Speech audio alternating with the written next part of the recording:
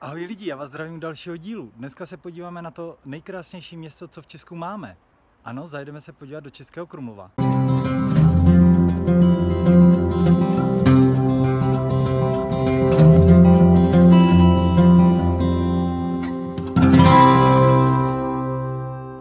Český Krumlov je město v jihočeském kraji a leží na řece Vltavě. První písemná zmínka pochází z roku 1240. V minulosti byl sídlem mnoha šlechtických rodů, Rožumberků, Egenberků a Schwarzenberků. Krásné výhledy na město společně s dochovanou architekturou v podobě střech z červených pálených tašek, úzkých uliček a mostů přes Vltavu činí z Českého Krumlova turisticky atraktivní místo. Přijdou si zde na své jak gastronomicky orientovaní zákazníci, tak lidé zajímající se o české reálie a historii.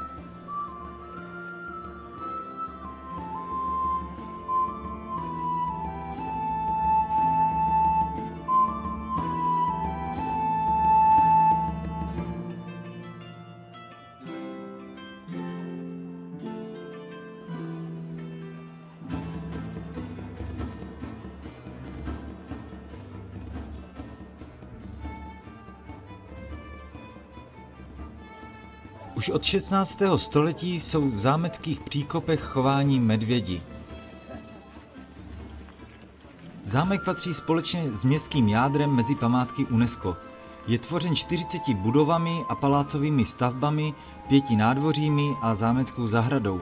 Prohlídka exteriéru je zdarma, využít můžete ale i několik placených okruhů, kde se seznámíte se životem tehdejší šlechty.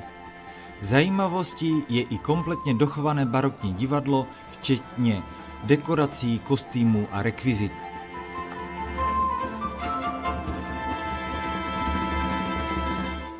Součástí zámku je také plášťový most.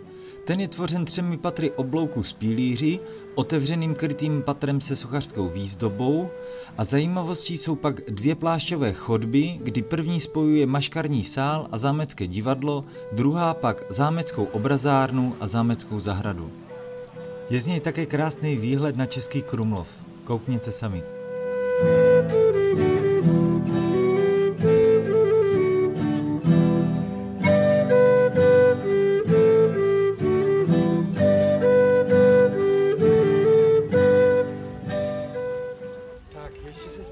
Podíváme do zámecké zahrady, kde ovšem na koloběžce a kole nemůžeme.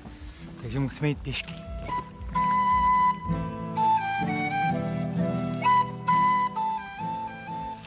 Zámecká zahrada byla založena v 17. století.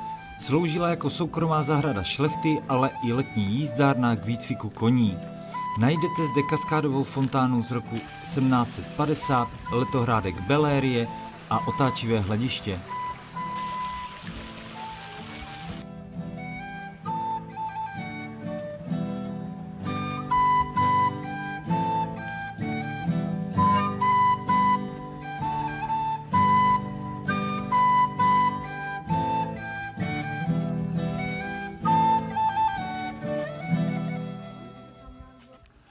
A za mnou je taková českokrumlovská rarita. Zde v Zámecké zahradě můžete najít divadlo s otáčivým jevištěm. Bohužel v současné době je v rekonstrukci, takže se tam blíž nepodíváme.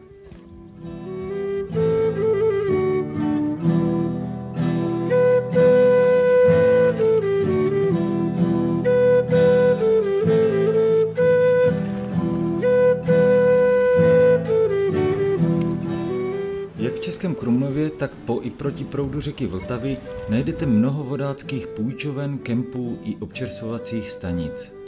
Nejčastější trasa začíná ve Vyšším Brodě, jedná se však o vícedenní výlet. Také nevodáci si mohou dopřát takzvanou voroplavbu srdcem Českého Krumlova.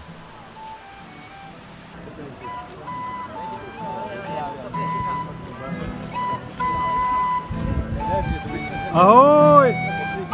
Ahoj!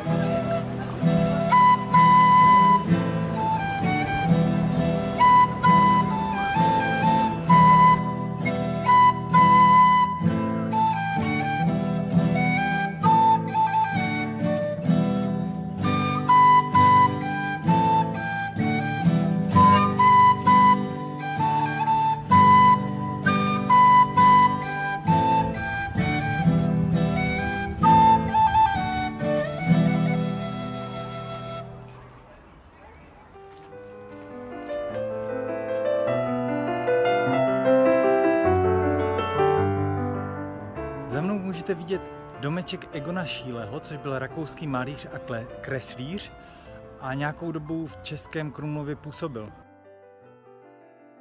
Do tohoto domku u Vltavy se Šíle nastěhoval v květnu roku 1911.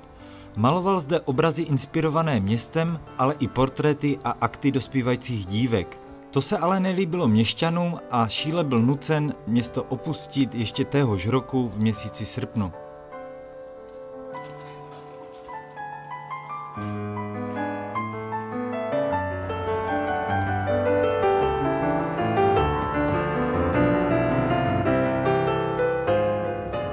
Zrovna se nacházíme před kostelem svatého Víta. Jedná se o gotickou stavbu z 15. století.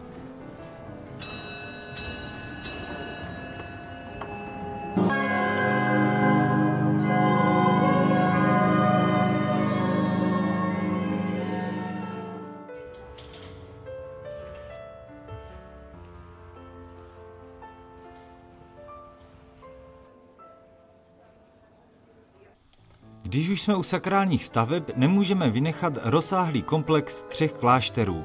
Ten byl veřejnosti zpřístupněn roku 2015. Kromě klasických expozic se zde konají také výstavy, koncerty, řemeslné dílny či přednášky.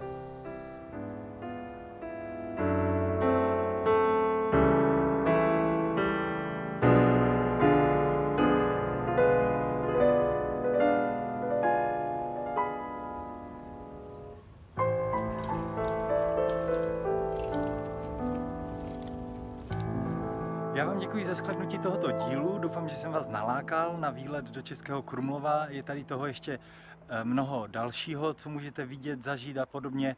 Takže výletujte, sdílejte, cestujte, lajkujte. Ahoj!